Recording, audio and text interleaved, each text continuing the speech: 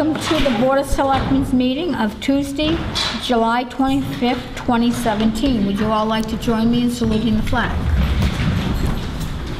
I pledge allegiance to the flag of the United States of America and to the republic for which it stands, one nation, under God, indivisible, with liberty and justice for all.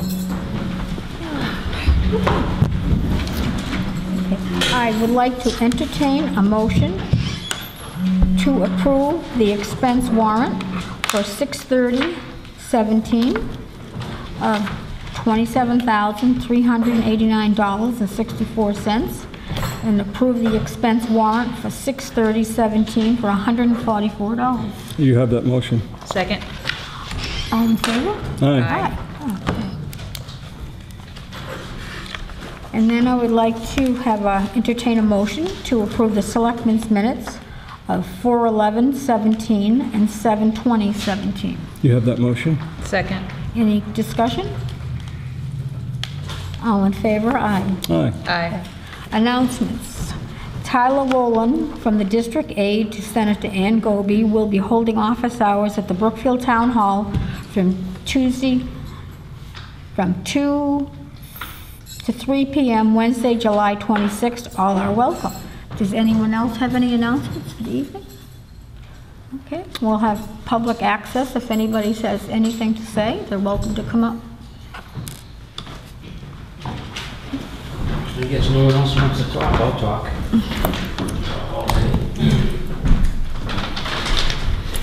We got two things, three things.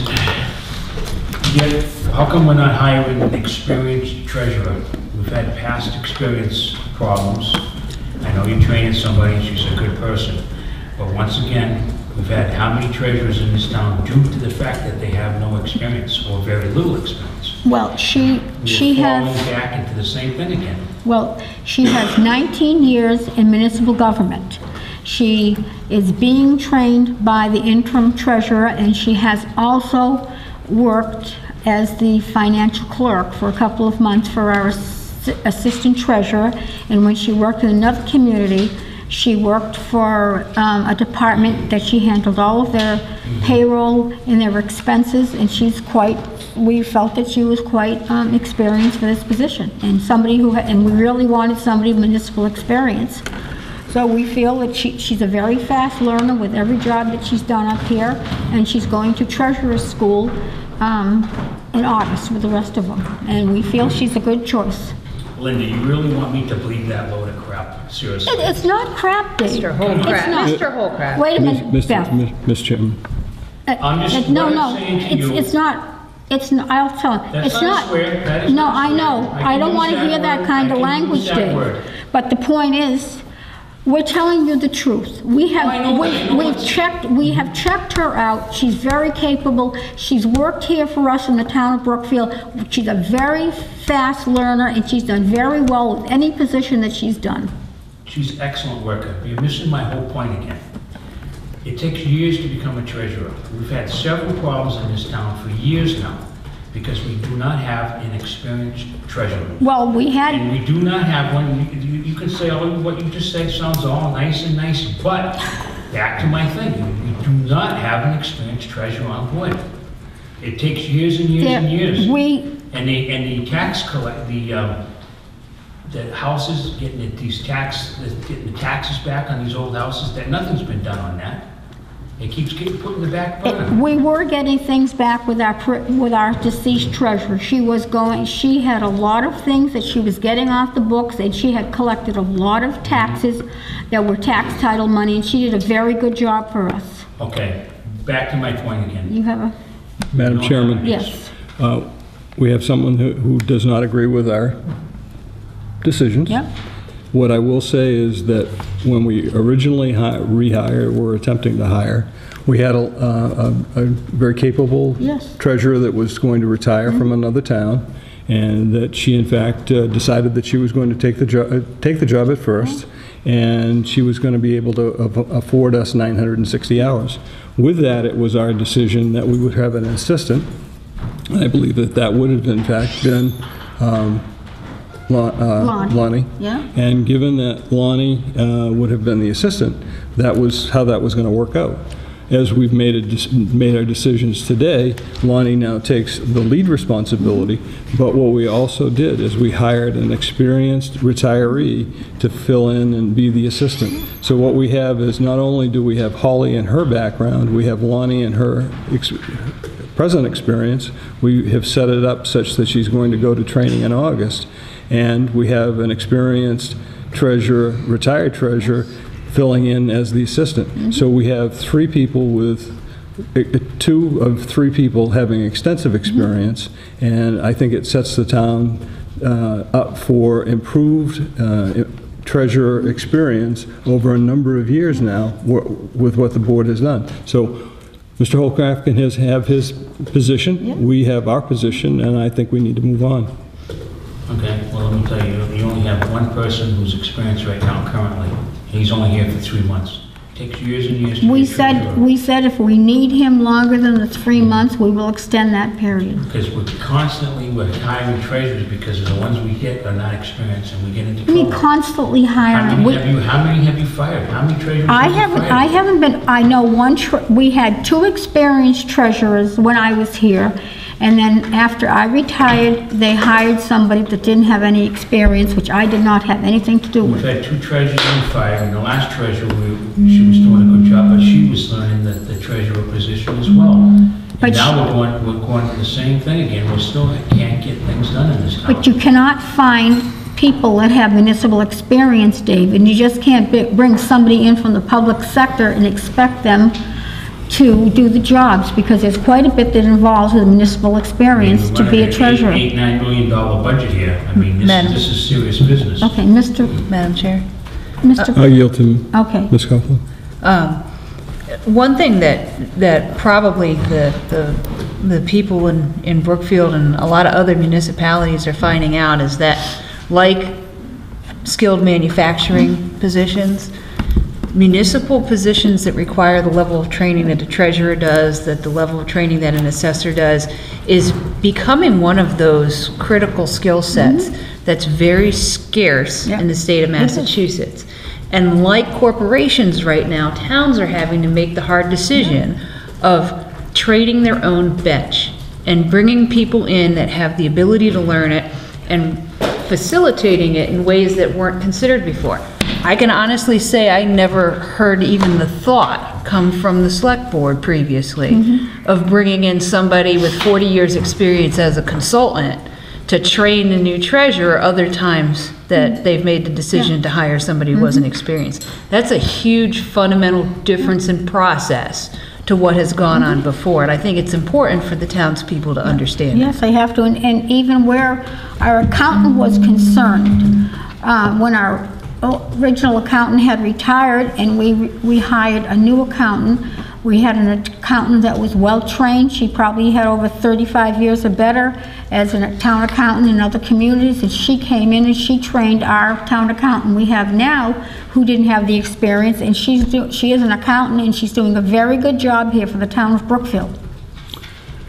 Madam Chairman, um, we'll debate this all night. Okay, so We have a maybe, person that does not agree with us, that's his prerogative. and we have other things right, on one our more- one more- agenda. One Okay. more thing to the subject. If, if everything's, you're saying everybody works good, good up here and they're working hard, how come the state cut us off of 1.6 million this spring? They didn't cut us off. We got it back. They shut us down, Linda. They shut us down. I was at the DOR meeting, five people from the state came in here because we They had rec- problems. they reinstated Yeah, our but money. Why did we get cut off? Because five times they notified this town and not one person in this town hall would respond back to the Because state. they were sending it to the wrong email, and it was, but because they sent it, they thought that Mr. Comtois was chairman of the board, and that's when the first letter came, and he was not the chairman of the board anymore, and I was, and they did not realize that they had a new chairman of the board. And as soon as I got that letter, and um, the town accountant, we had uh, Department of Revenue were down here within probably a week or so. And they knew... The DOR said they sent it to different departments and no one responded. No, I don't remember them So, saying why- that. why was it that Well. I don't remember them So saying these, that at all. these, these are the fundamentals and things I'm concerned about for our town. But we're Look, not- We we're got not- one point six back, yes. We, we we got all of our money back. Yeah, As soon I- as they knew that we were having problems, And they took, and, and we had a fix for it from the town accountant. She had all the different steps that were gonna take place. They accepted what we were gonna do, and, uh, We're we got it. all of our money reinstated. Yeah, I know, I was at the meeting. That's why they're here, because we have problems. Five times, no one responds, and we get our money cut. Five times, I'd like to know who the five times were. I'm were. just telling you what they said at the meeting. I don't remember that at All right, I all. got the next thing I want to, um, you guys were talking about the racetrack, about the permit going to court, the whole nine yards. I'd like to set, set you straight, Linda. You, the, the court is over, okay? Town of Brookfield lost. We lost a ton of money. You have, we have no choice. He can do what he wants down there, he doesn't have to have the permit. He gets the permit, he can do what he wants. This noise decibel, it's over. It's a practice racetrack, he can make his own hours, and he can do his own thing. We lost in court because we didn't want to work with the person, okay? Last meeting, you were talking about decibels, and you're gonna go back to court, it's over. We lost. have, we have another court date that is set, and that's all I'm gonna say, because I actually shouldn't speak on it, because I'm a resident of Quaboag Street who testified when we went to Have you court. checked to see if that's been canceled? No, it has been continued. Okay, but I'm telling you right now, it's a done deal, and we should stop oh. harassing the businesses in this town, okay? It's a business, let them do their thing. If he's a business, then how come he, he's only a practice track, so supposedly he's not supposed to be a business? It's a practice track. Yeah, well, he's he's met all doing the more than that permits. down there, and I'm not gonna He's met discuss, the- I'm not gonna discuss it, Dave, anymore. Well, you, you you mentioned this at the last Well, meeting. I can't, I, like I just explained to You need to you, recuse yourself. I had to refu- recuse myself and sit on the other I'm just side. saying that he's met all the permits, EPA, the So whole if nine Mr. yards. Snyder would like to take I- over, he I- I can. think it's important that I do at this point, Okay, so that uh, there is a court date, and what, what's going to happen at that court date, because I've actually talking, talked to the owner.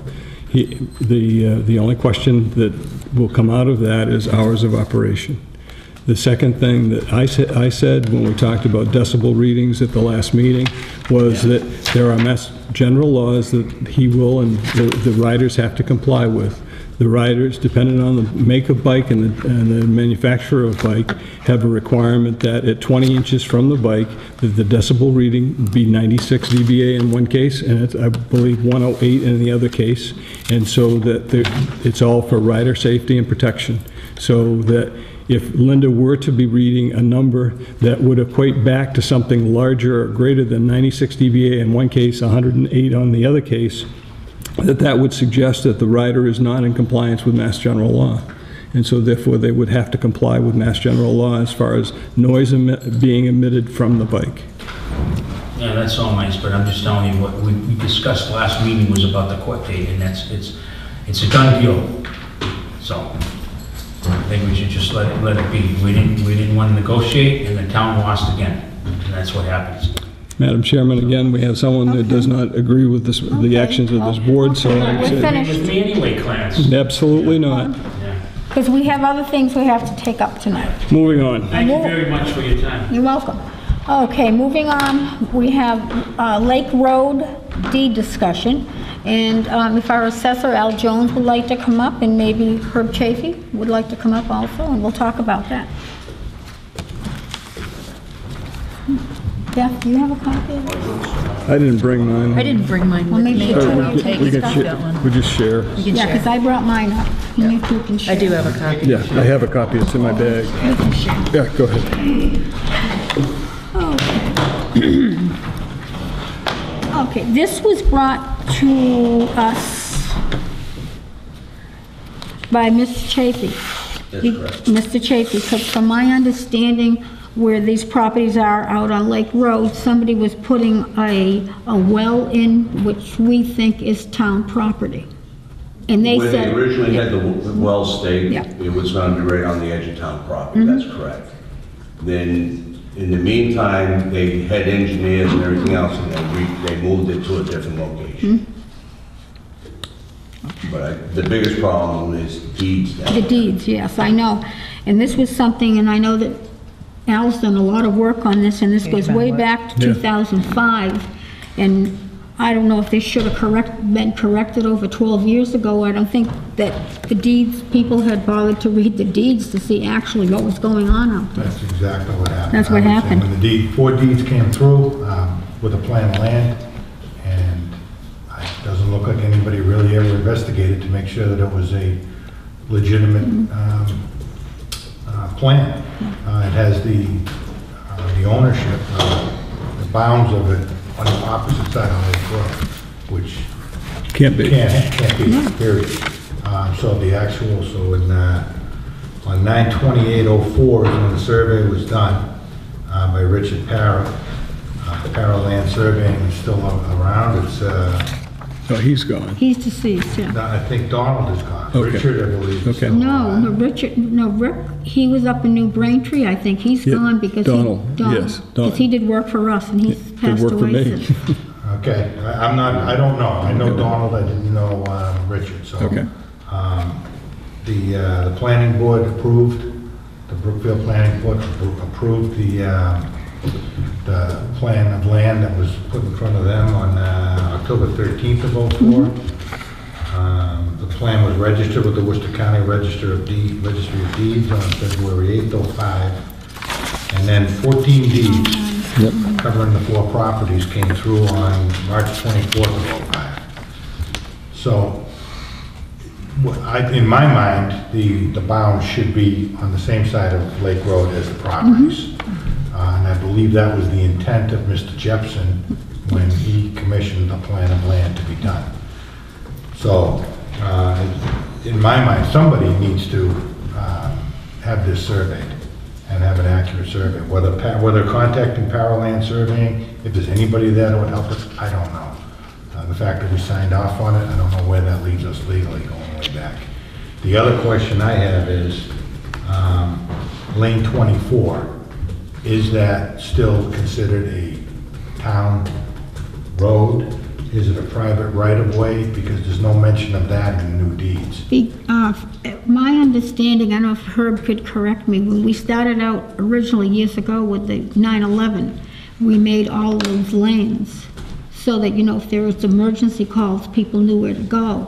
But are Yeah. they considered private roads, or are they The uh, Lane considered? 24, I'm not sure if it got done or not mm-hmm. here Yeah. through the town, mm-hmm. but I know it's, uh, some lawyer had come across to have that turned back over to the mm-hmm. residents. Whether or not that got done legally or not, I don't know. But So, what- What pardon. about Right now, all it's of a, pro- it- to me, it's a private road. It's a private road. It was the original Lake Road. Right. And when they straightened it Yes, out, thi- this piece was left. Yes, I and they left understand, it yeah, I to, know you where, for it's the- been like that for years, yeah. Yeah, probably, I don't know, probably in the 60s or 70s or something, way back. Way Yeah. back, I And that remember was that, still all yeah. town property It at was- one time. yeah. Yeah, because it was They like a took little back- grass strip that's out there. Right. And the grass strip was town property. Yeah, And it's the grass strip that now is one well and one or two septics on, uh, two septics. which are, you know, that, they went through all the permitting process. I mean, there was, nobody did anything illegal there that I'm aware of. But that land is theirs, and the question is, did- does the septic actually, the, the- do the pipes run under lane 24, which is a town road? Or is it not a town road? Has it been abandoned? I couldn't find anything where it indicated that we had ever abandoned it, but you would know more Should, than should me. be something in either a selectman's office or a town meeting. I'm, How far would you say we'll go back? I'm trying to think when we first I'm started saying on. probably about 10 years ago, eight to 10 years ago at least. So if we alerted the landowners that we have a conflict, We, we probably should alert them that we It's do have a probably- conflict, it's probably time. yeah. That's a potential conflict. I don't know. Yeah, that- potential contra- conflict, and, and then the next action would be para, to see if para, anyone in the para organization exists today. Well, according, according to the deeds that have been done at, the- at- mm-hmm. in Worcester there, I took the measurements from the deeds that is existing now mm-hmm. for it, and it does go from the pond, the pond side all the way across Lake Road to the other bound that's over there. And I'm, and I'm, the only reason, That's the new deeds. And, and what I'm saying, Herb, is, was there anything in the, in the case of para that they did that prompted them to go to the other side of Lake Road?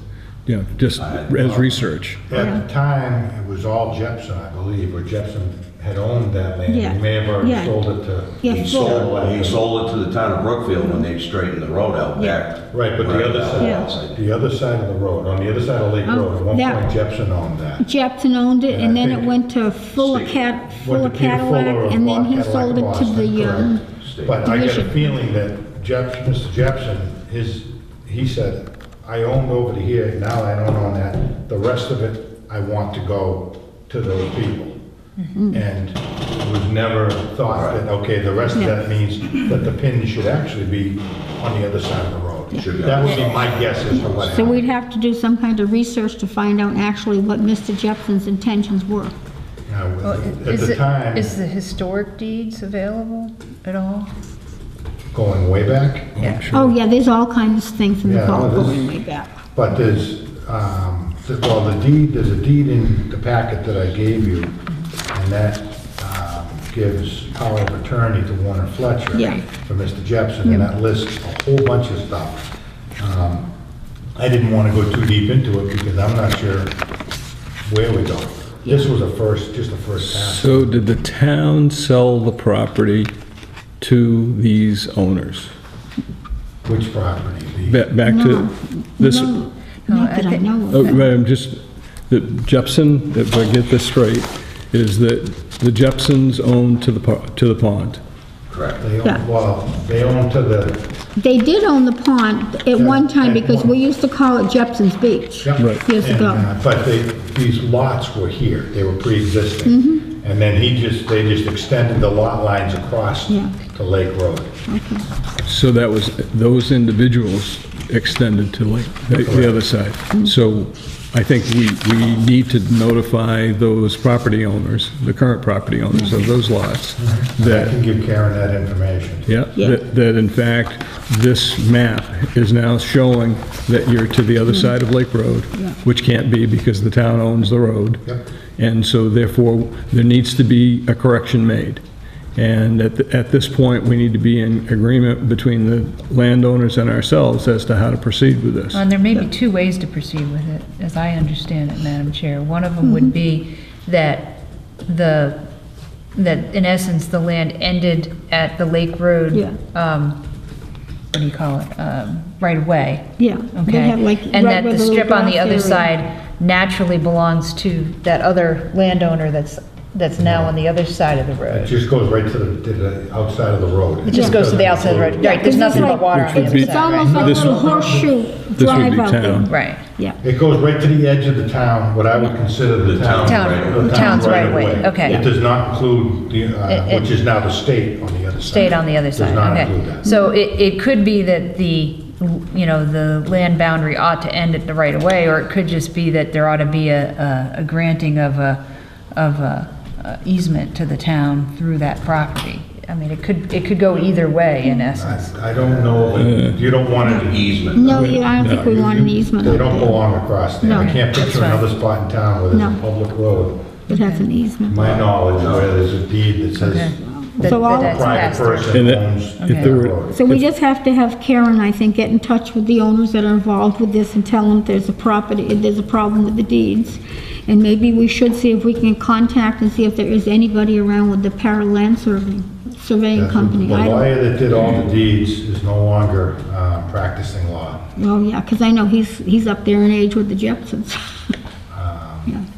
Well, he's, he's with me, so I don't know if we're that far. out. Oh, no, I thought he was, no, I, I thought he Well, was You're an talking alternate. Warner Fletcher. Yes, that's what Ed I'm Neal talking. did 14. Oh, Ed Neal, yeah, I know, Ed Neal was the one, and didn't he do this with another firm out of Southbridge, if I read right in some of these? Yeah, Yeah, and he lived in one of the four houses at the yeah, time. yeah, the because he lived right the- next door, yeah, I know where he lived. From an assessment standpoint, I've adjusted it so that the adjustment reads that it, um, that the actual acreage of the lots is only to one side of Lake Road. Yeah. They are not paying taxes, On the uh, road. nor have they ever No. for a crop, for the, uh, for the actual Lake Road. So we right haven't, away. been- we have not been charging them for, for We that. had not been charging for any of this. Yeah, We had never added it from an assessing. we didn't know any of this until Herb came up with it and brought it. No, it went through. I mean, Oh, yes, I somebody knew missed that it years it ago. it went through, but it actually wasn't read back there in 205.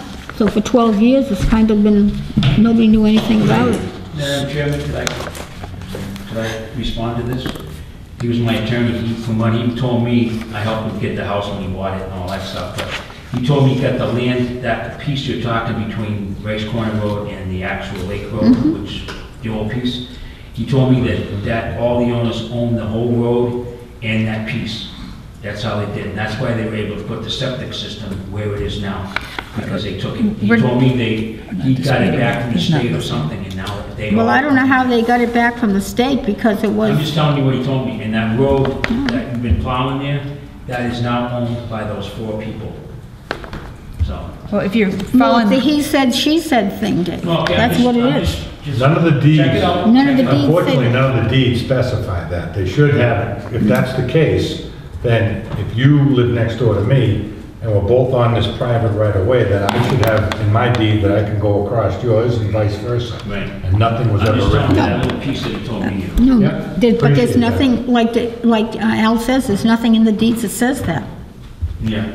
I would check with him and his wife, and then that might help you out a little bit. Okay, so what would be the steps to reconciling this? First, we Well, just contact the We- property Yeah, we should contact the property owners, and then we should also see if there's anybody that's still doing work at Para Surveyors, Yep. which I don't, I don't even know if anybody is And and anymore. get them to redraft the site plan, Yeah, in essence, and re- refile with the registry of deeds? Is that what the And, yeah. steps? Like, if, if everyone, Well, if everyone is, was in agreement about, about where those property lines truly should be, let's say that all of the property owners were like, yeah, we, we just, are- we're supposed to get up to the road. If the Okay. intent, if they all agree that the original If, intent if was- everybody agrees that the original intent was take it to the road, Mm-hmm. okay, what would the next step be, just to get a In new my site mind, you would plan have an accurate plan of land for those four, four lot- uh, four lots created, Yep. approved by planning board, because it's now a different planning. And then it would, and, and and if everybody at that point is in agreement, then it would become a registered, Yeah. it would get registered. Yeah, registered. The other question to keep in mind is, is there anything on the deeds that needs to be added to allow this? Because if they have run septics underneath, uh, we also private need to road. find out whether or not that the town ever abandoned that road. okay. Because if they did, like Old Rice Corner Road, Old Rice Corner Crossroad was a part of the same, Yes. that was part of the road that was Yeah. straightened out. That is still, that was never abandoned. That's a public road. And this is just another piece of it, so I, And the other section of Lake Road that's over there, it's it's still part of town. So that's something I know would probably have to be researched in the old town meeting records, too, because you have to vote on all of this when you abandon a road at, a- at a town meeting, so there's a lot of research that would have to go along with this. I would imagine. And if you can't find that, I don't, you know, then you'd have to figure out whether Maybe it you don't never want to do that happened, now. yeah. Yeah, we may have to take it to Well, town I'm meeting. trying to think if there was a list of abandoned properties. I just want to say, I just looked up on my phone, and it says Para Land Survey at Southbridge is run by Richard Para now. And that's who did Looks this. it's still there. Richard, oh, so there is, so they are still there, at Richard, okay, all right, well, we should probably contact him. 349 Ashland Avenue, Southbridge, Massachusetts. Yep. The call you need to make, Al. Yeah, Al, i- if you'll do Whoa, the, whoa, whoa, whoa. if you'll, They're if not gonna listen to me. No, we need a higher authority, that's why we come to you. Yep. with these things. Well, I Well- think that he can give you the homeowner's info, but I think you're the ones that should, you're the Yeah. ones that should call Parrot. I have You know, no jurisdic- I have Well, I nothing. We have absolutely no knowledge don't of it. have- But the They're Board of more familiar. Selectmen, in my mind, this falls to the Board of Selectmen. Oh, yeah. okay, well, But- Karen, But, but I think, I'm more than willing to sit Yeah. there, I'll go over, I'll, I'll sit with you on we a can, we conference could probably call. do a conference, call. But I Karen really and don't feel myself that and you, we should do a I'm gonna conference. get any response. You you or me shouldn't make any decisions on this. one. No, no, I, that's what we're saying. We should probably do a conference call with Mr. Para, then we'll get in touch with him over this. So we'll make arrangements maybe within the next week or before we come back for the next meeting, we'll, we'll get some kind of an answer on what we're gonna do. Sure, I can talk to Karen tomorrow, we can set up a Okay, time, maybe we that get sounds something good. tomorrow going, but Yeah, okay. I really don't feel comfortable. No. Oh, I understand that. No, it should come from, if you'll sit in, because you do know more about this than all of us, because you've researched it A little bit, a yeah. little bit. I think you've done quite a lot. bit, a lot out. Well, Okay. it's- if I do it versus um, our Legal. our attorneys, Yeah. then Yeah, Oh, you prob- you sure, probably yeah. saved us about $5,000 already, Al, thank you. Are there any other questions with, that? No, I don't think so. I can't think of anything at the moment. Okay, so we'll... Karen, I'll get you the info tomorrow as far as the four homeowners that are, it's actually, two of the parcels are owned by the same group, so there's really only three. three. And um, I can get you that, their, uh, I'll get you what their, what we have for their billing address for tax purposes. All right, and you need to write a synopsis of what, ex- you know, what you said tonight, just something I can put in the letter. Cool, okay. You're gonna sign it. Okay, Herb, you want to... You're just ghostwriting, Herb, Al. you want to stay up and you Yeah. can, we'll talk about. You about... wanna jump to um, No. number five? Yeah, uh, yeah, why don't we have, well, Al's here and Herb can say, That's we're fine. we're gonna just jump up to number five, because Al is here, is to sign the CAMA contract. Okay, let's get that one. So this one has to do with the um, CAMA. Do you have it? Do you have the contract? I have the contract Oh, right here. All I'm right. just gonna explain it quick if you want me Okay, to. sure. Um, CAMA is the software that we use to uh, assess land, uh, commercial, residential, open, and now all the buildings in town. We've been using a state system for a long time. About six months ago, Marlene came before you, and the decision was made to go with the state. Yeah. Um, I was doubting Thomas, I'm the first one to admit it, and I've spent a lot of time with other vendors, um, as well as the state IT folks, and they finally convinced me last week, and they've come a long way, um, that I think financially it's the best solution. Software-wise, it's probably not the best, but I think I couldn't in my mind weigh where spending that much more for software would help us out. The- Um, The value's not we there. have no, no reporting capabilities now, so if somebody asks for something, it takes two, three hours sometimes to create something that they have a canned report on. So it, it makes sense to me to go forward with what Marlene had presented way back when. Um, There's trainings included, uh, mappings included, everything is- appears, and there's some customization. Initially, uh, they were talking just, they were, it was targeted towards large towns. Um, And I raised that question, and they now have, um, uh, it's not Conway, maybe Conway, one of the smaller towns, so that as, as a beta, there's somebody like us, it's not just targeted towards bigger. How many towns. towns have actually signed on with this? 47, 47. 44, Out 47, of somewhere in the- the 40s. We yeah. need 40 was the magic number. Um, Some of our neighbors have gone with us, some are not. Have the other Brookfields, have they gone along with it? East is going to a company called Vision, Okay, um, which I'm very familiar with in my past, Yeah. but the cost would have been fairly prohibitive. Uh, This is a 10-year agreement. First seven years are set, and they won't raise the uh, price. Right now, we're paying $37.75, the price goes up to $38.05 for the next seven years. okay, that's So not, uh, that's not there's bad. probably going to be some other costs associated, but there, so are there with that, with the one. And then after that, it goes up, uh, the last three years, are uh, either their standard raise or cost of living, pl- um, uh, CPI plus 3%. And so then it- after that, 10 years out, we make a decision that we want to stay with it. Okay, Um, So I think it's, there's really nothing we can change in the contract. It's either we say yes, or they, or we say, we're not interested, we're gonna go find another solution. Yeah. Um, So I'm not trying to jam anything down your no, throat. but if you really- feel that this is the best solution right now, the problem. It problem. seems to me, yeah. So are you beyond for signing it, whether you want Okay. to sign it Yeah. now? Yeah, or- uh, yeah. Motion to sign the co- CAMA contract. Second. There's two yes, um, there's a yes here that agrees that the Mass IT uh, will work collaboratively with us, and I said yes to that. And there's another yes section where they'll- it'll allow Tyler Technologies, which is the company uh, doing this, as well as Mass IT, to have access to our data. Okay, Seems pretty sure, standard. it is. And then, other than that, Show me what's got to be signed.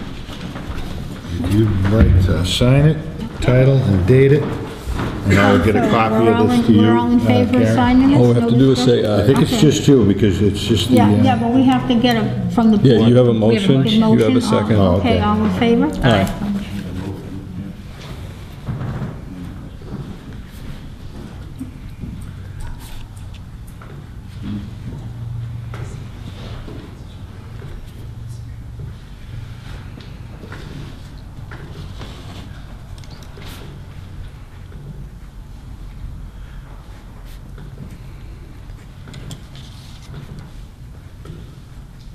And today, seven.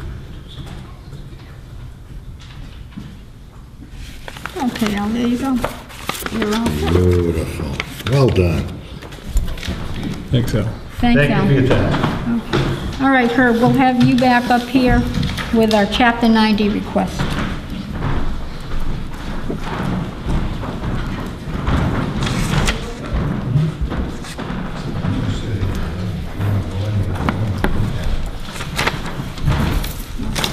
We, we have a um, Chapter 90 request here from um, the Highway Superintendent to lease a dresser loader and to use uh, Chapter 90 money. Oh, you're not going to lease it now? I'm gonna do a lease purchase A lease purchase, okay. Yes, On a it lower. says At least two, please. not a dresser. Oh, she, she had it right here, dresser loader. That's to replace it. Oh, this is the replacement, Yeah. okay, I'm sorry. Okay, this is to request for a three-year lease purchase on a 2017 544K John Deere loader. And, uh, and the estimated cost of it is $183,948, and the annual amount each year would be $6,316, and this would come from Chapter 90 money. That's correct. So you have a motion Yeah. to proceed.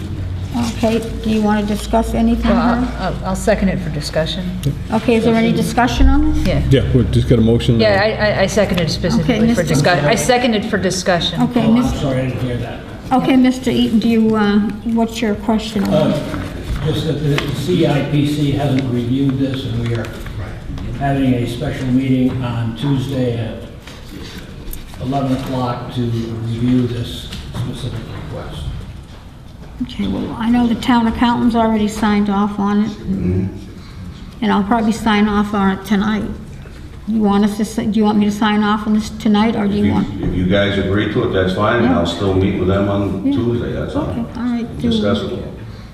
Okay, all in favor of, uh, signing? Do Yeah. you have any more questions, Beth? Mr. Come- Chairman, you know, um, the select board supported the CIPC.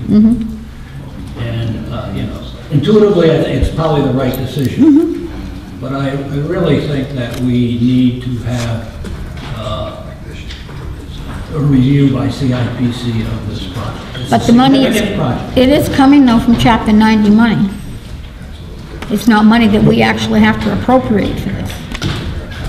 So, so, so Madam Chair, the, the challenge is, and it's, and, and I can kind of fall on either side of this discussion, in that uh, initially, my, my, my gut instinct said, we place the replacement of the dresser loader in the original capital plan back in, in, in 2013 for, I believe it was fiscal year either 15 or 16. 2015. Uh, yeah. Uh, It's 15 would be the fiscal year 16, Right, but it's, yeah. it's, it's in that, in that general vicinity, okay? We, we chose not to do it. Um, I, I, if I recall properly, there were some other more critical projects going on that, that took the Chapter 90 money at the time. Mm-hmm. The superintendent made a, a very appropriate choice in funding those activities first. And- and um, Nothing, nothing against the board that's out there and everything else, but there's been boards out there before that this stuff, all the paperwork's gone to with, you know, paperwork to go down the line mm-hmm. for this, this, this, and nothing has ever happened. There's been three vehicles that have been replaced down there, and that board has nothing to do with it, had nothing to do with it at the time because it wasn't active enough to take it. Now, now, to, now to, now to Mr. Mr. Eaton's point, Madam Chair, I think what he's, he's asking for is that since we're in the process of reconciling our town finances, we're in the process of standardizing our financial policies and procedure books, we've got to start somewhere in, at, at least walking the paperwork through the, the appropriate procedures, okay. okay?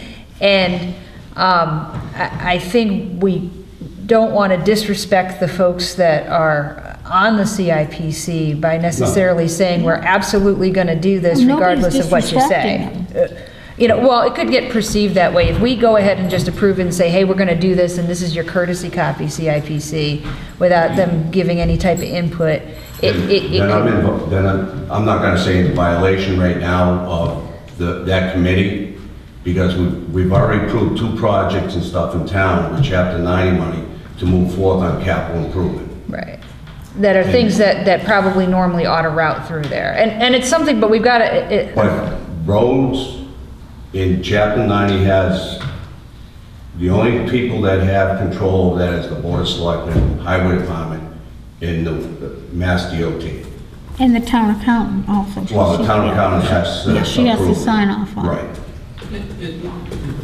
Madam Chair, we don't make the decision on it. We just analyze it, review it, and make a recommendation. The decision still is with Herb and the Select Board. We don't have any authority to decide on it. We just, part of our responsibility as CIPC is to analyze and to vet these projects and to assist the advisory committee and the selectmen in helping them make the decision. That's what our role is. Oh, I, I So we don't, understand that. You know, we don't have the authority, you do, but we just would like the uh, responsibility, we were given the responsibility, we would like to take the responsibility of reviewing.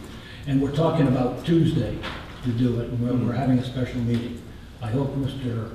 Well, Chafee can, we just, we just appropriated two hundred and thirty thousand dollars to do that bridge project down there in the past week. the CIPC From is. Mass yeah, DOT. Yeah, the CIPC is. Had just- nothing to do with that. Well, I know, we just been formulated, Th- this recently, that CIPC has been formulated. I, go ahead. Okay, okay, Mr. Snyder. Where, where it is Tuesday, given the opportunity to go through what the plan was, because at our last, me- at the last selectmen's meeting, we had a, co- well, actually, the last two selectmen's meetings, we went through a review of the ideas of Chapter 90 money and where things were going to be, the priority list.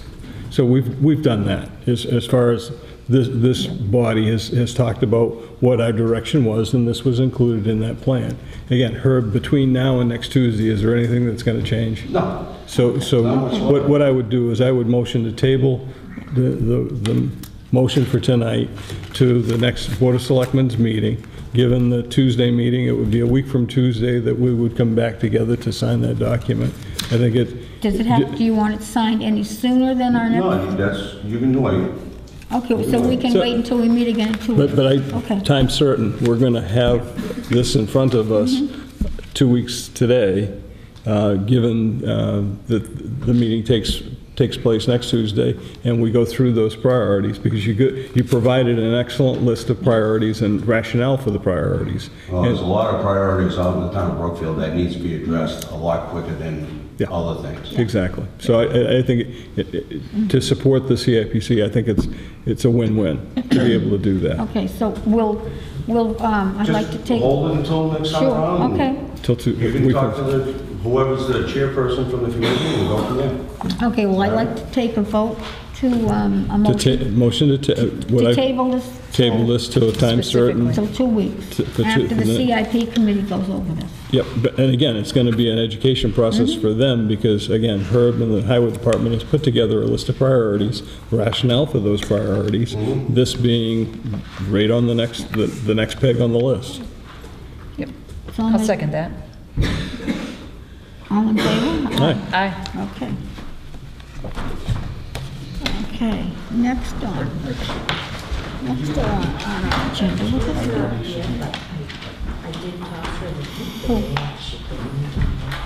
I don't know. Peter, do you know if Donna was gonna come up and talk? Donna was supposed to come up Peter and was talk going to to. us. Said she was gonna come. You're gonna come and talk to us? Okay. Peter Peter has. Oh, Peter uh, has, or okay. Donna has family things that had to be done. Oh, okay. So Pete would like to come up, you're next on the agenda. Where's my agenda? Where's it? Can I share your agenda? Oh, jeez, absolutely. I don't even know. Here, thank you, Ken. It should be attached to the cover, isn't it? No, I took it off. I don't know what I did with it. Okay. Um, Chief uh, LaFleur was in last Thursday after we had adjourned from the meeting, and she came in to talk to me about a lot of ambulance calls that have been going down at the racetrack, and she didn't know if we were aware of them, and she wanted to come in and talk to us about it. Oh, uh, She just said that you were just looking for more information as to how many calls we've done, that- Yeah. done down there. Yeah. And we look back three years and we've done 10. Or Ten. we've done nine, East Brookfield did one while we were out. Okay. So 10 calls in three years. But she had also said too, that a lot of these people actually aren't even um, Brookfield people that you've been Oh, treating. last- I don't think we've transported a Brookfield resident. No, she said they've come out even as far as from New Jersey, that they're coming down, and she also thinks that there's a lot that we don't know about, because if I remember right, Karen, did she say say that she thinks that they've been transporting them in their own Like vehicles? In some cases, we- In some vehicle. of that, but we can't. Yeah. Because in those cases, even the 911 system wasn't been activated, so the police or law enforcement been Yeah. aware of it. Well, we've just heard that in passing from other patients that, or from patients that, well, you know, so-and-so last week, Mm-hmm. he got banged up, everybody took him to the hospital, him home. But There have been 10 ambulance transports, from them, yeah. So, yeah, going back to the Okay, we, do we have, I know, um, we do have a few people here tonight, you know, that are neighbors down there at the racetrack, and I don't know if they want to bring up anything about this, this evening? Well, Mrs. Robidoux? Hi, um, I'm Megan Robidoux. I live actually right down on Route 9, 45 South Maple Street. And I actually just wanted to come by because, um, really just to voice our opinion about how much the racetrack has affected our personal life. Um, It's really been tremendous over the, especially over the past year and a half, how much the noise has really affected us personally. Um, we actually, when we bought our house, we actually, uh, we know we're right on Route 9, and we really live off the back of our house. And it's gotten to the point where we actually really cannot enjoy our backyard at all anymore uh, when the racetrack is operating. We actually have a, a large deck off the back of our house. My family comes over quite often. We actually do all of our holiday parties and um, birthday parties at my house, and we cannot even be outside anymore during that time. It's gotten that bad. And if we do, we actually, it's to the point where we actually have to raise our voices to talk to each other. Yeah. It's extremely annoying. It's just, it's, it's not enjoyable at all. Um, and actually, we actually have to keep the windows closed too. We can't even get fresh air. So, um, it's just, it's really changed a lot and we can't enjoy our house anymore. Um, so, you know, I'm really just asking the town to consider whether or not the practice track is the best fit for the town at this time. You know, I'm not a person to ever stand in the way of a small business, I, or people having fun for, for that matter at all. But, you know, clearly I feel like from the beginning with the practice track, I feel like we were a little bit misled about how many people would be there at the track and how busy it would be. Um, and how loud it would be. Um, I, secondly, I feel like if that's not an option, I don't know, I'm not a professional as far as the bylaws of the town, but I would propose a, a noise ordinance of some sort, um, because I just feel like there's no time for us to ever even enjoy our backyard anymore. Um, and uh, if it's not only time restriction, but um, the hours of operation, engine size, whether or not there's silencers on the pipes, or, you know, again, I'm not the professional in that type of thing. I'm sure that uh, there's the right people to make those decisions. Um, And also, what are the registration requirements and reg- registration regulation requirements for um, a business to that extent? Um, I'm sure like a business, that must be, the oversight must be extremely stringent, and I would just encourage the, the town themselves, who's really monitoring, uh, are the, are the vehicles themselves registered? I know out-of-state vehicles, if, if they're registered out-of-state, they, it doesn't count in Massachusetts. Is anybody watching that? Age restrictions, um, helmets, safety equipment. Uh, I'm just wondering about the oversight on the property themselves. Uh, so, you know, just overall, what's going on down there is my, my question. Well, I'll let Mr. Snyder speak because I'm a, I'm a resident down that area too, and I have objections to the crowd. to the, uh, So- And, and so I think it's im- im- important that who has jurisdiction. As you heard earlier, the town in fact did take the track to court, and with that, there will be a judgment uh, as to hours of operation, that there will be agreements to hours of operation, because it was unclear with the judgment that took place whether or not there was an understanding of hours of operation. What I've understood from Mr. Plume uh, is that he, in fact, the earlier negotiate, quote-unquote, unnegotiated hours was in fact the hours that he was going to conduct. So I think at the, at- at the court date, uh, and again, I can't remember the date, that the, there will be a confirmation of hours of operation. So at least you'll have that firm as to what, when he can and cannot operate. Is that something that is negotiable, that is being talked about?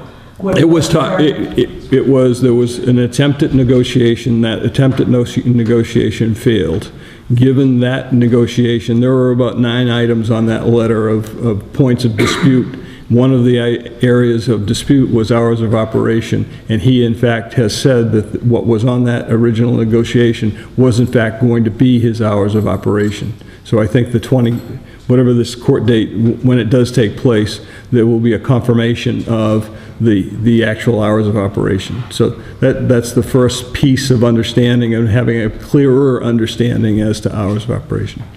Second piece to this is that the environmental police have then jurisdiction on the idea of registration. From what I understand, they have in fact gone down there, and there have been those that have been uh, noted as not in, in compliance with their registrations, and therefore they could not race. And the other piece of it is that the town in fact did purchase a decibel meter, and what I would do is encourage the use of that decibel meter, uh, a sharing of that decibel meter, so that you understand what the noise levels are at your home, because we can go onto Google Maps pretty darn quick, and we can look at the, the distance between your home and the racetrack. And what, what I spoke of earlier is that the bikes, again, it's mass general law, it's uh, uh, the responsibility of mass environmental uh, environmental police to, to um, take responsibility for it. But there are two noise levels that are allowed on that kind of vehicle. One is 96 and the other is, I believe, 108. And that is at 20 inches from the bike. So if they have messed around with the exhaust system or anything like that, and many of these bikers do do that, and that's what causes the noise reading to go from 96 of something to something greater than that. And what you can then do is you can go on, uh, th- there are programs online that you can say, I measured this at this distance, and it's supposed to be this at this distance, and you can actually interpolate to determine whether or not a bike has been taken out of compliance, that the muffling system has been re- replaced or removed. And again, at that point, you can then turn to the environmental police and to say to act, that they in fact are not in compliance, and that they need to, that the uh, actual bike owner has the responsibility. Now, Mr. Plume has also said that he is monitoring noise.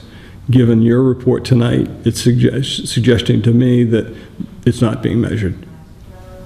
I, yeah, it's been something that, you know, we really have tried to put up with. We're, we're not trying to be difficult. And as a matter of fact, from the beginning, we felt like maybe, we didn't want to stand in the way of anything, anybody, a good time, to be honest with you, or try to be difficult. But the bottom line is, it's really just played, a- it's been a real problem in our life.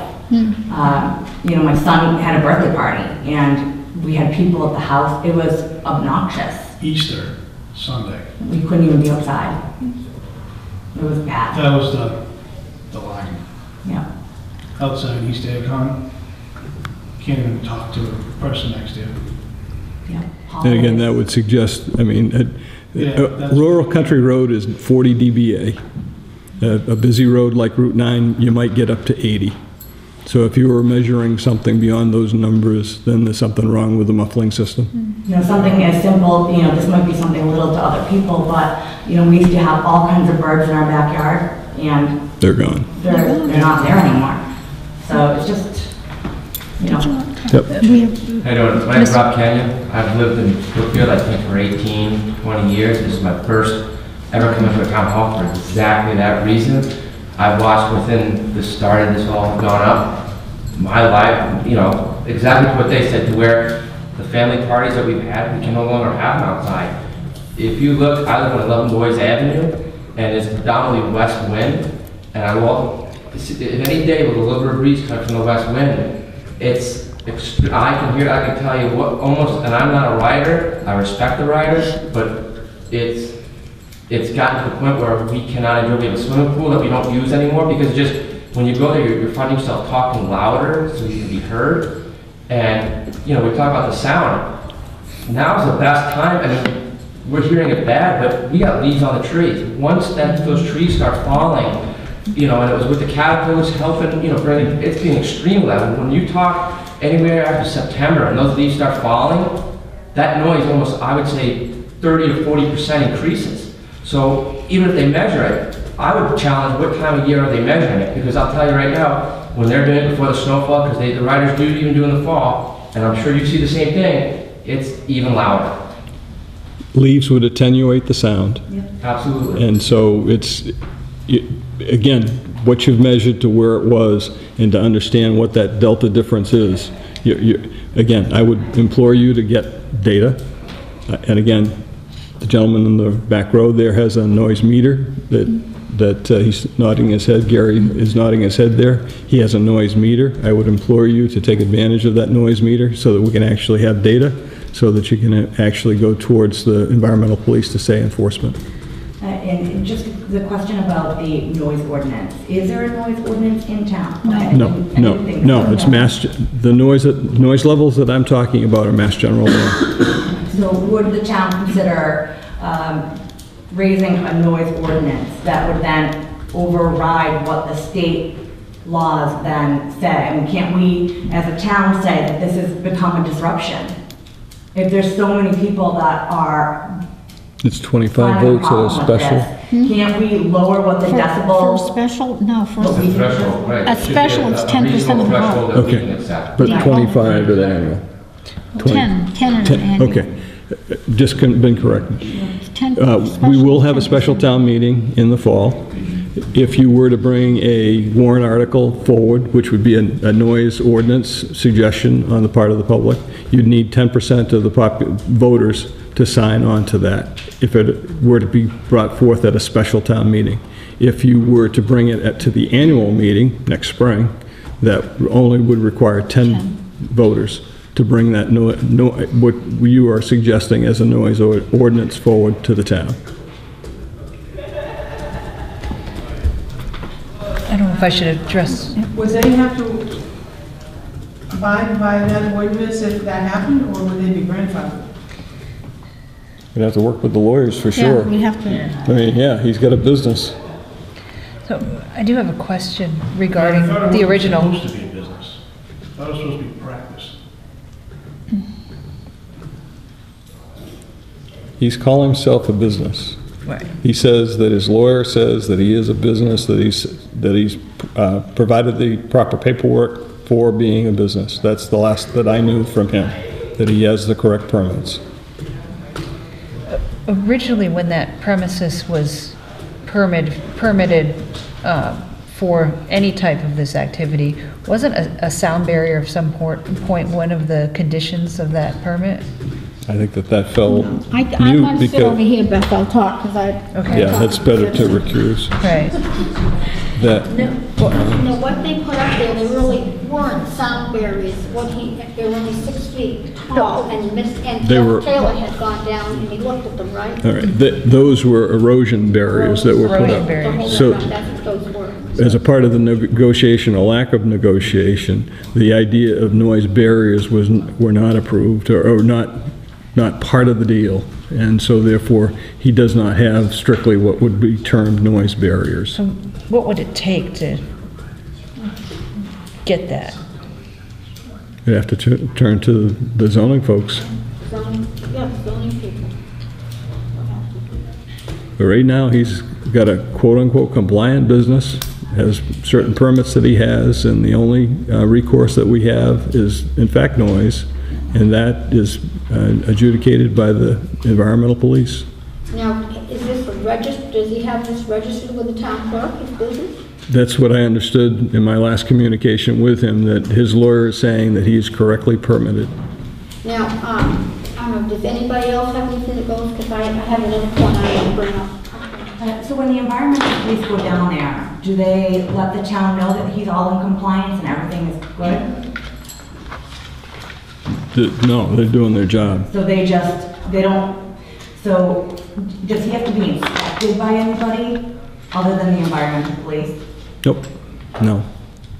Is there a way for us to uh, ever gain access to how those visits go? Or speak with anybody in the environmental police? And, you know, just, I could well, make. how often, I guess? Right. I, I, I could only make a suggestion. That you could contact them and ask. On top of that, what you could also do is uh, reach out to your local representative and ask that he, on your behalf, work with the environmental police to understand the, what's going on. So I would, I would offer that as a suggestion. Marlene? I just wanted to, to ask, he has a multi-use permit for, for that piece of property? The last I knew Marlene, and this was in a conversation, is that his attorney has said that he is per- properly permitted. So we only know through his attorney, we don't know. Yeah, I, I have not followed Has up. anybody seen the permit? No. Well, the town would issue the permit, right? The multi-use permit, if it were. He's, Would he- that come to- uh, from the zoning board of appeals? If it were a special permit, but he doesn't have a special permit. No, that, that- that would be on, well, I could go check online to see if it's there, but I doubt it. Uh, Gary's next. I'll come back. The, uh, the the permit is news to us because for the most part, we haven't ever heard that he's been permitted to do anything down Yeah. there. And And it- he, and he and he seems to be He, he was, he was quite adamant with me. under the me. impression they can just do anything he damn well Right. pleases down there. So. uh, I had, I had, You know, it'd be interesting for the town to find out, or selectmen to find out. I'll, I- I'll follow. where in fact this permit is. Uh, And if it, if it, if he is permitted, you would think that uh, there would be some restrictions on it, you know? And uh, obviously, there isn't any, you know? And, uh, and that's what the lawyer is trying to clarify, is just what kind of prescription, uh, Yeah. uh, restrictions, you know, I'll are involved with this ruling that the judge made that she was so out of line doing. I- I'll ask for a copy of the permit. Yeah. But again, we, It- You know, years ago when they had the races, the selectmen licensed the, uh, uh, issued a permit to have a race. Now this guy just doing anything he wants to do, with no permits, no this, no that, no uh, guidelines set down or anything. So uh, I think this lawyer is filling somebody full of a bunch of malarkey. I will request for a copy of what he believes to be the permit that he has. I mean, I- again, I don't mean to be redundant, but um, is, so he has the ability to charge people to use the track, okay? And, you know, the extent of the injuries, um, uh, so there's multiple, multiple injuries, I understand, from the track, ranging from minor to Yeah. Other than that? death. Uh, yes. There has been a death. Ten was done by Brookfield ambulance, ten was East Brookfield well. Ironically enough, we were transporting one party from the track, and while we were gone, another incident happened. So they're generally orthopedic, most musculoskeletal, uh, anywhere from broken bones and concern about broken bones to, yes, one could fatality. So I guess more, m- one of my other questions is if they weren't, if, if we found that he wasn't following the regulations, uh, would the town be under any liability at all?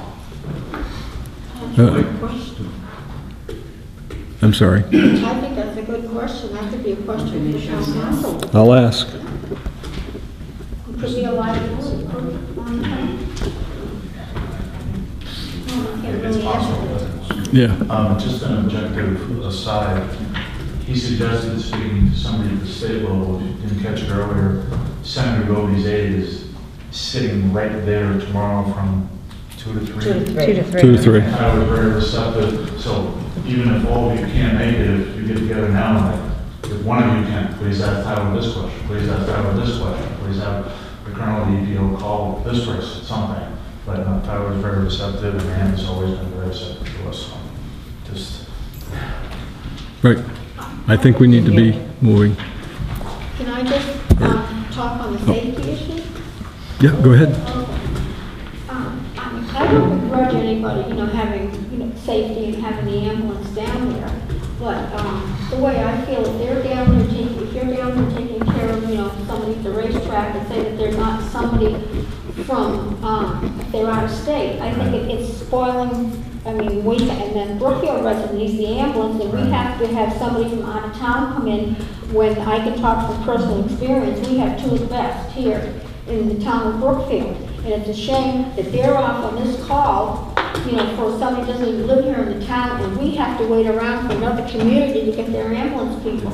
That's always a tough sell on that because then it goes into, well, you know, boat parades, and poker runs, and anything else that's, you know, uh, there may have been other times we had mutual aid in, but there's only the one time that I'm aware of that it was. And I think without exception, all those calls are on Sundays. So we have a little bit of advantage, staffing by mutual aid partners is a little bit better on weekends from a call. But I've done a little research, and other um, organizations like this, they have, a- they, they hire an ambulance service to be down there for the, for the day when they are doing these races, shouldn't they Well, that's, that? that's what we've always been under the impression was because it was only being recognized as a practice facility. We were always led to believe, well, it doesn't fall under the same guidelines of national professional organizations that would govern these things. It was just being used as practice. And if that's, if, if it was that he had to hire it out, we're not in a position to hire out ourselves because with one truck, one crew per shift, you know, he would have to outsource that to a private Yeah. organization. There's a couple in the area where I was sitting, but we're not in a position. Oh, I understand that, but I know Yeah. different people have, had private organizations, private ambulance services come in. Linda, I'll take away two actions with respect to the permitting and the liability, and I think we need to be moving on. Okay, all right. Karen, if you could send me a But copy I'd just of like the to thank court everyone finding that came up and spoke tonight. Make I copy of appreciate it. that Yeah. very much. We don't have it yet. No, the one from the Okay. last one. Oh. I, The last one. Yeah. I did send it to you, I haven't had another one since then. Okay. All right. I scanned it over there. All right, now we're going to move on to the um,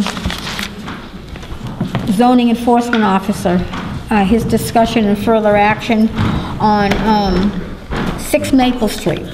We got this from um, zoning enforcement officer Nicholas Tomo, and he says, "Be advised, as July 25th, 2017, non-compliance fines for 6 Maple Street, Brookfield, Mass. have accrued in the amount of $600, and also non-compliance fines for 26 Allen Road, Brookfield, have also accrued 600.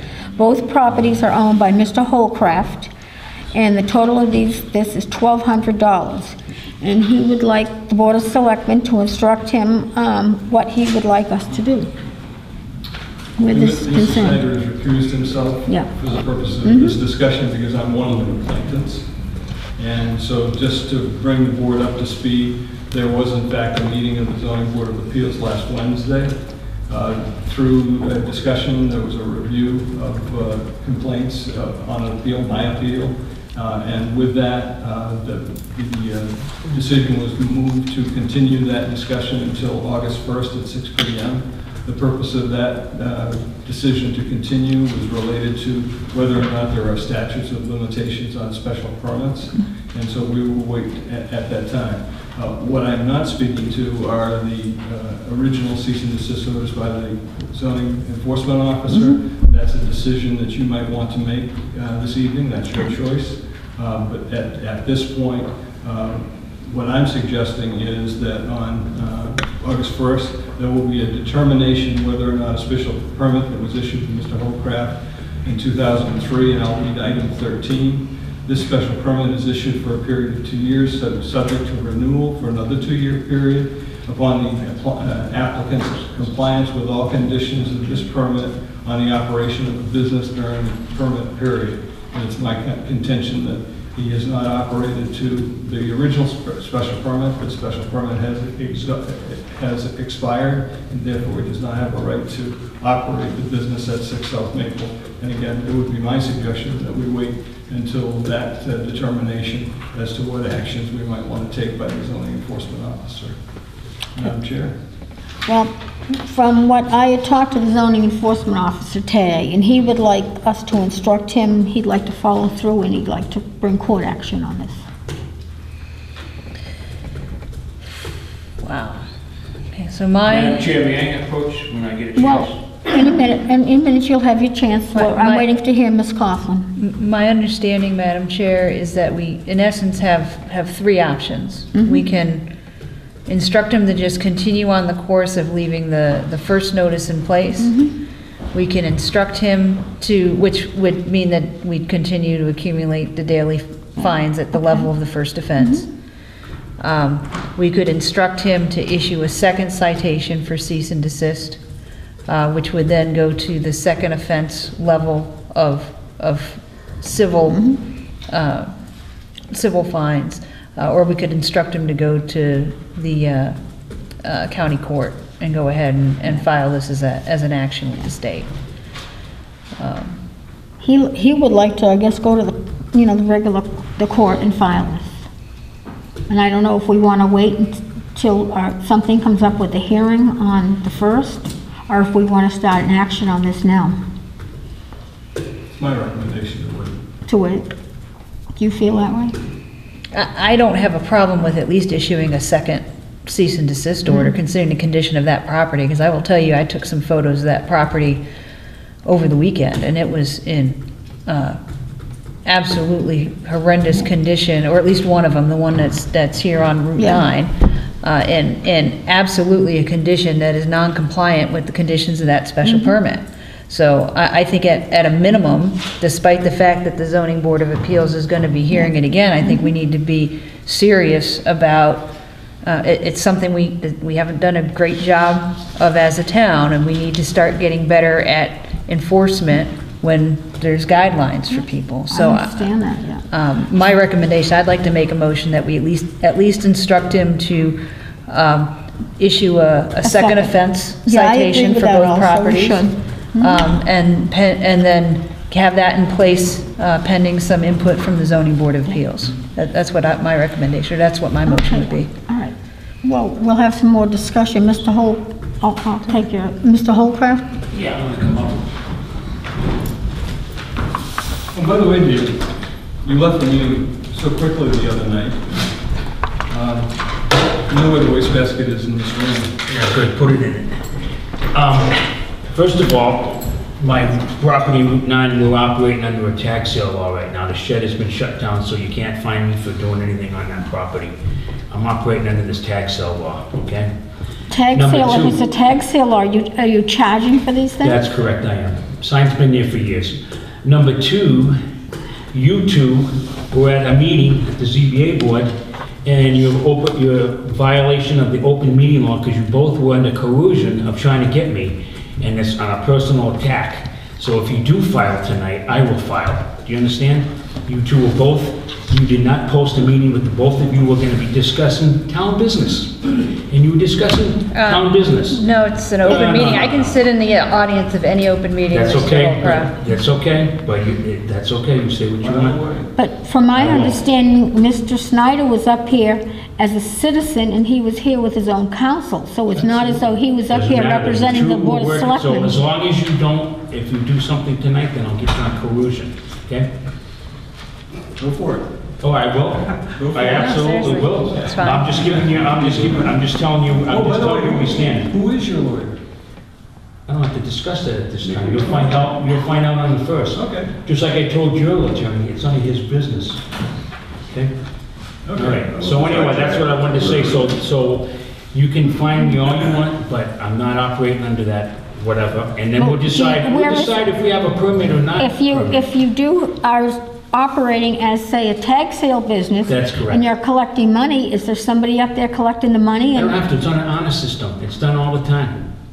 I can do that legally. I've never seen that, I've never, I've seen people. Exactly.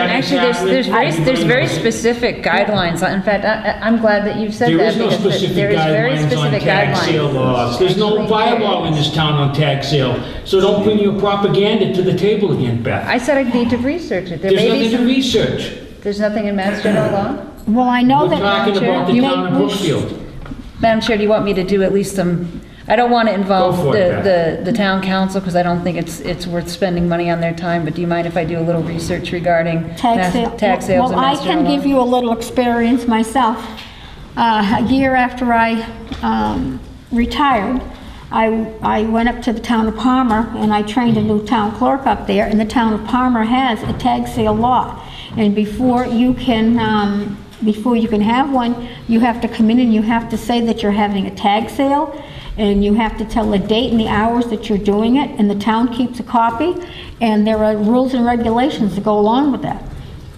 Yeah, what's that got to do with Brookfield there, Well, we Madam could, Chairman? well, we could probably do the same thing here in Oh, Brookfield. yeah, have- more regulations, more laws, well, putting the thumb down on the people again, yeah. All for one person. But do you have. I, I've never seen a sign up there that says you're running a tag sale. Well, maybe you should clean your Just- glasses it off. just and says no take- dump- Clean my glasses off. Clean your and take- glasses Well, that's kind of insulting, Mr. Holcraft. No, it's not, I'm just saying, go up there and take a peek.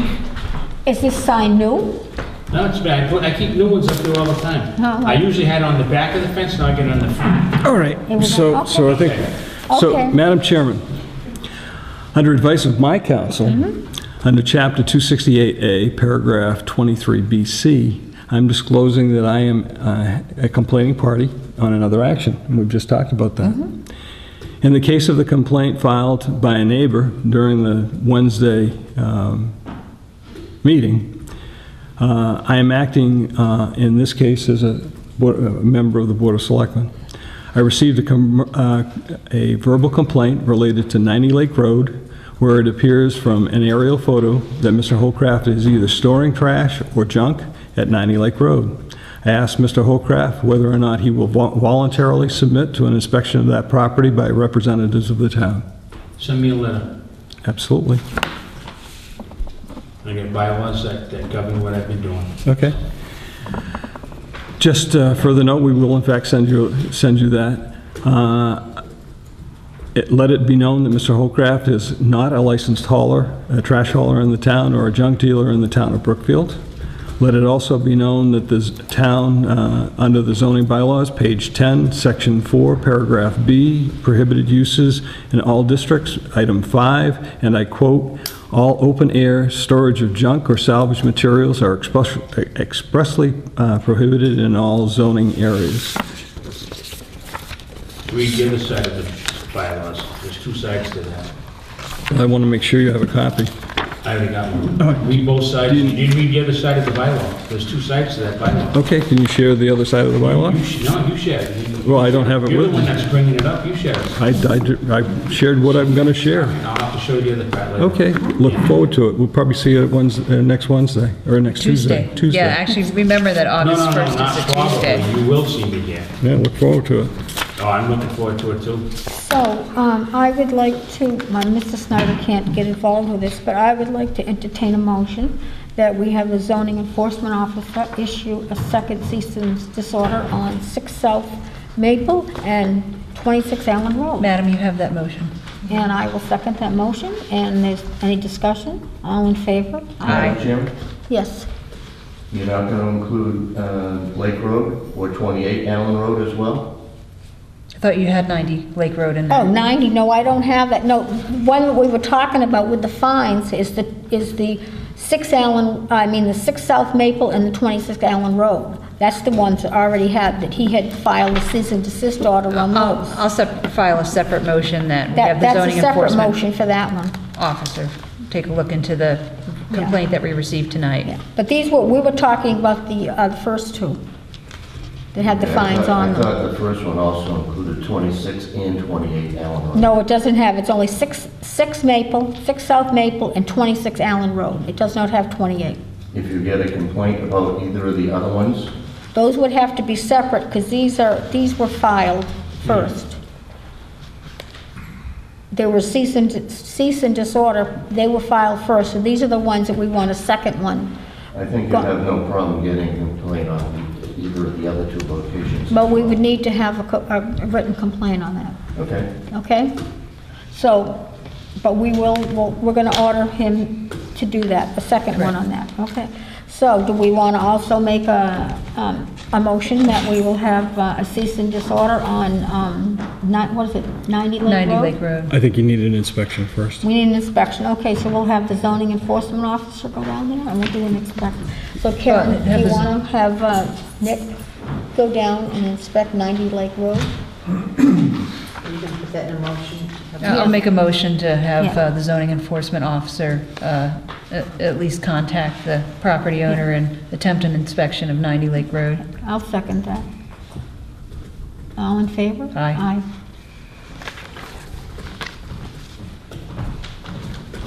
Okay, do we have any more discussion on this? Nope. Okay, we'll move on.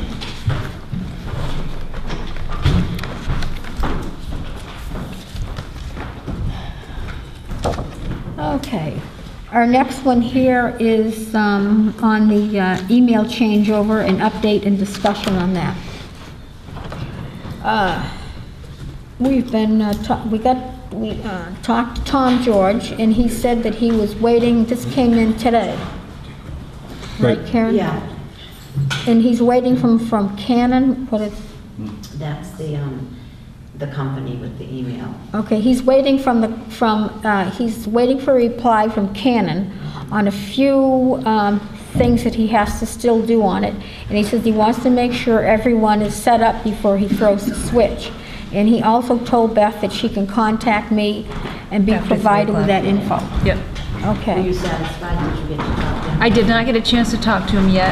I- I've been a little schedule constrained. I'm going to try to break loose So some right time. now, I don't think we have to worry about because he's not ready. He's really not Right, Let us know when he exactly. does. And the good news is he did say that if we wanted to keep Outlook, that we could, because that's definitely what a lot of people. A- And that, that was, that was my biggest concern, and my research was saying that we ought to be able to keep it. It just hadn't been made clear to people, and that's why I was saying that really what I'm most concerned about, it's not that I want to gum up the works in doing this transition, it's just that I want to make sure we do some education up front with users before we flip the switch. That's my biggest concern, because I've been through these type of transitions before in organizations, and it can be very disruptive if you don't take a little time to, to get with the operators. Thing is, like, I know that you wanted to have a couple different sessions, but he, he holds a full-time job, and a lot of things that he's done for us, he hasn't even charged us for this, I- so. I I understand that. I didn't know if maybe the company that's doing the transit, it wasn't so much I was wondering if Tom could do it, I was wondering if, Yeah. if, if we, you know, even if we incurred a, a slight fee to do it, is, is to bring in somebody from the company to do that training for him,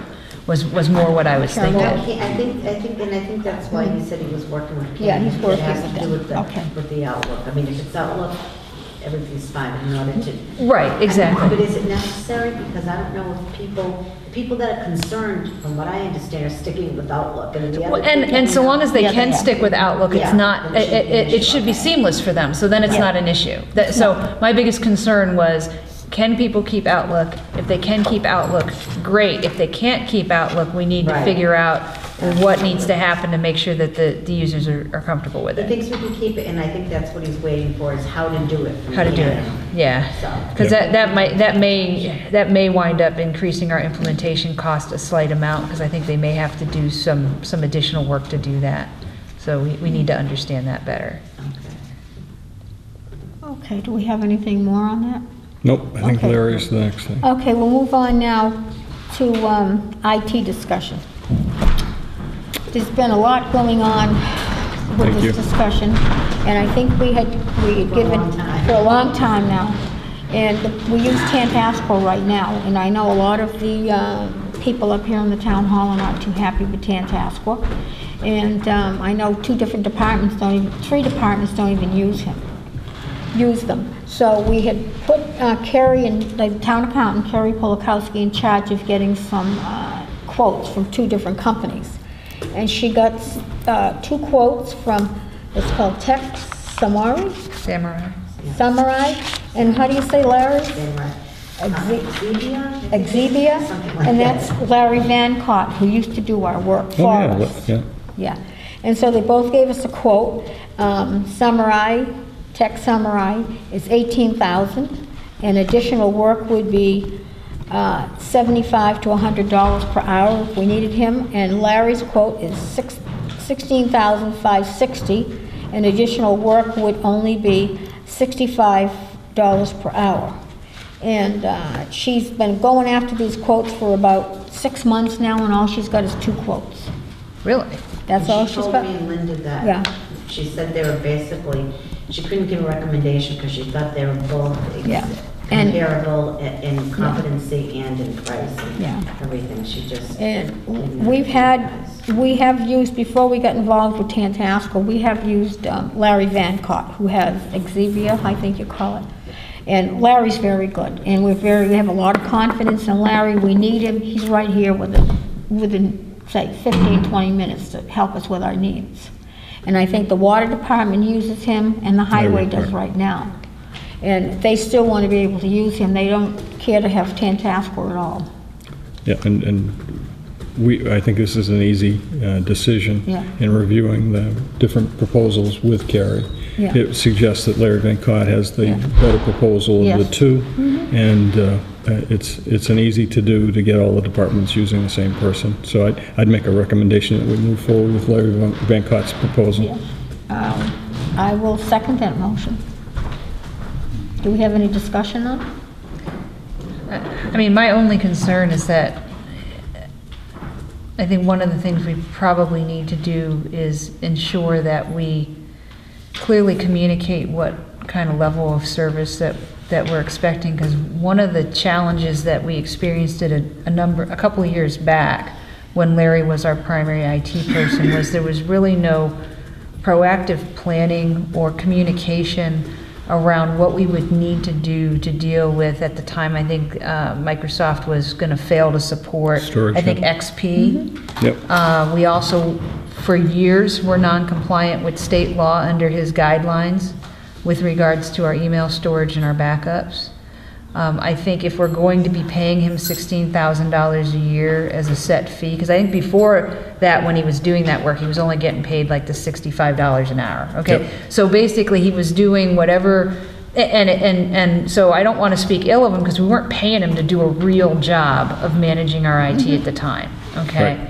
So I, I get that. If, if you're getting paid sixty-five dollars an hour and everybody is like trying to squeeze you for your fifteen-minute increments, $42 an that. hour we're paying. Yeah, but, but you, under- you understand what I'm saying? But, but I think the expectation though is if we enter this contract, that we, and I don't know if it's in the proposal. I think it is. That on a regular basis, that he do a review of the condition of our IT, of, of the go-forward needs, that he meet with the CIPC and communicate, you know, as part of that base, sixteen thousand five hundred dollars, that, that we get at least an annual update of what the plan is to keep us current and compliant. Because those are the two things that we Well- really have to be aware of. Okay, well, I talked to the um, accountant today about a lot of this, and she says um, we need a a total reconstruction of all the services here. She says we don't have to replace any of the equipment because the equipment is here already. Yep. And she says we have to do a reconstruction of the platform. Yep. Now, I'm not into all the IT. Yep. Yeah, And then she, Makes she, sense. she and I can geek And out then for a she little while about that. And then she that's said fine. also, she said, the network was not set up properly here because no, nobody can network with anybody here. Right, but, I, so the, the challenge is, is that w- Tantascwa did some of that, but what little network they have is from after they took over it and, and Larry had not at the time, because he didn't have that guidance from the selectmen, set up anything but a little bit of peer-to-peer networking here or there. Well, Larry So- never was. He wouldn't, he wouldn't, No, once Tantascwa, once those computers in Yeah. Tantascwa, he didn't No. really do anything. He didn't The do only thing anything. we really used him for Right. was for if we had an issue, we had to fix it. But if, look in, look in the, um, in the contract, because I know Carrie's very computer savvy. Yeah, she I'm is. She is. sure Could- would That you mind- in there because she would not have said, she would not have recommended both of them if it was. Because she has anything that was worked with this one before, she said. Right. Yeah, she had experience with both, Both. Oh, she has worked with, with Both. both companies? Yes, she has. Okay. and it really was, of the two, this was, Larry was the more Yeah, Larry, cost-effective. Yeah, So that's the decision, or recommendation I'm making. I'll make that recommendation. Yeah, we- We got a motion, Yeah. and it's just I'm let Beth. We, both of us are recommending Larry. We had a motion for that. Okay.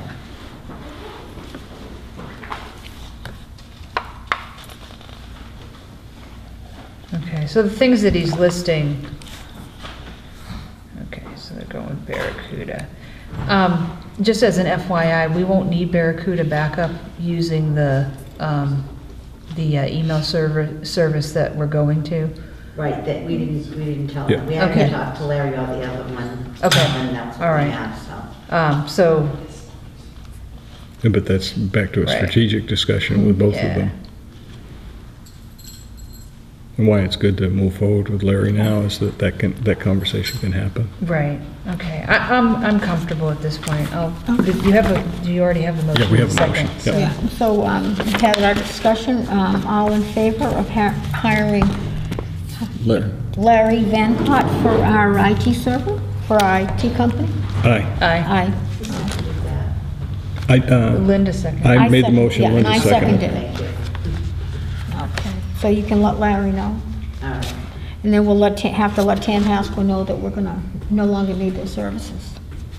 Okay.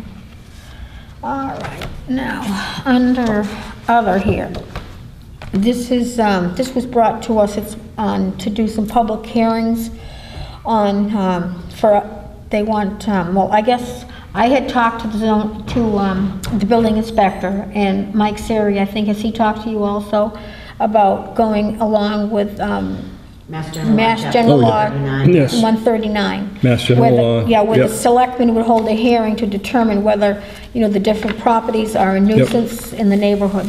I'll chair the meeting if you need me to. Yeah, okay. And um, we'd like to have, um, have them done all in September um, on 9/5, and it would be at 7 PM, uh, 30 Kimball So Street. where are we going? What, what, what's the timing? Okay, that would be September 5th, Yeah? uh, 17, at 7 PM. That would be 30 Kimball Street. And then also the same day, at 7:15, it would be 16 North Brookfield Road. And that's another one we put on. And uh, 9/5, also at 7:30 PM, we would have 4 South Maple Street. And um, I guess Mr., is Herb gone? I guess Yes. Herb said that he would take care of uh, removing these properties Yep. for us. And so we have the three of these to sign, so I would like to ma- entertain a motion for the chair to sign these uh, three uh, public hearing notices. You have my motion? Second. All in favor? Aye.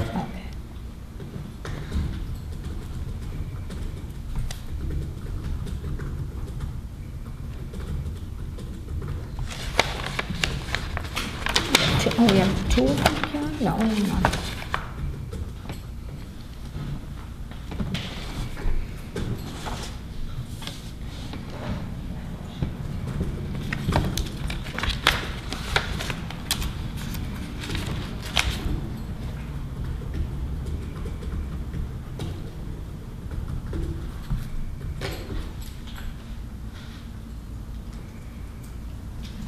Okay, how's it going?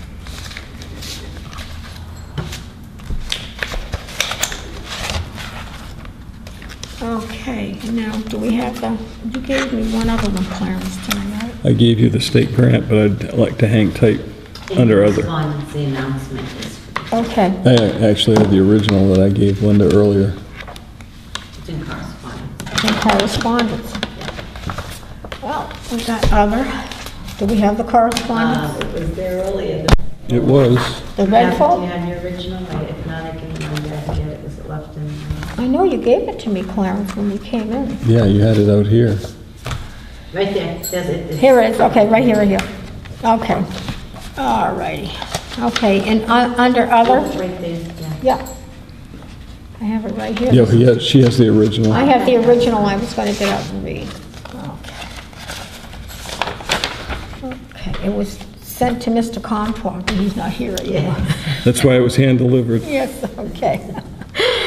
Okay, uh, July 20th, 2017. And uh, this came from uh, Governor Charles Baker and Lieutenant Governor Carol, Karyn Polito. That letter was from, handed from uh, Governor Baker to Representative Berthiaume for our benefit. Okay, all right. It says, "Congratulations, I am pleased to notify you the town of Brookfield has received an FY 2017 Massachusetts Community Block Grant Award of $363,000 and 699, and I want to thank you for your your commitment to the community development efforts in the town of Brookfield. Through this funding and your continued support, we hope to assist you in strengthening your community and enhancing the quality of your life of your residents. You will be receiving further instructions from the Department of Housing and Community Development on the next steps. Please feel free to contact Mark Southard at um, state uh, dot MA dot US if you have any questions. And that was from the the governor and the lieutenant governor. So that- Grants afford. yeah, and therefore, two, the two projects are for the infrastructure and senior center and planning projects and um, ADA environmental remediation. Great, for the design for the The town hall. designs. The Yep. town hall. That's great, that's very nice, that's, uh, what's, Madam Madam Chairperson, could you acknowledge the people in town who were instrumental in pushing that grant forward, a significant amount of money, and some of the citizens of the town? yeah, I know, I know, it was, um, Bruce Clark was involved with it. And Cindy Cindy Thompson, Thompson. and Mary Lou Knight, and Dawn, was- no, Don wasn't, no. It was, um, Who are we missing, Marilyn? Beth. Beth Roberts. Yep. So I'd like to acknowledge them and thank them for all the Yeah. hard work they've done. That's our, that's our grant advisory board, right, the CBDG Yeah. uh, Yes. advisory board. Yes, Yes. They- They quietly do some really excellent work for the Yes. town. Yep. yeah, it's nice. So we, we appreciate all the work that they do for these grants, and and this is a nice grant to get. Huge. It is. Okay, do we have anything else that we'd like to bring up this evening? With the hour, what I would only have is a suggestion that came about from last Wednesday's meeting that uh, we may wish to consider, is that by sitting at this end of the room, we have people coming and going from the door, as we noted Yeah. tonight, that had to come in and sign in and the like. And the suggestion that was made was to in fact turn the meeting around where we would in fact sit at the other end of the, uh, of this room and face this way, such that the people can enter from the back and, and not di- disrupt the meeting. So I'm not asking for a decision tonight, but it was an idea that was shared with me, and I wanted to share it with the board. Okay, that is, I think at one time, we've even had them sitting on this side of the room. We've had them in all different areas, I know. I just, there was a suggestion Yeah, made. There I would wanted be, to s- I I'll mean, I it. don't, I don't have any prob, it's the lighting that is good down there.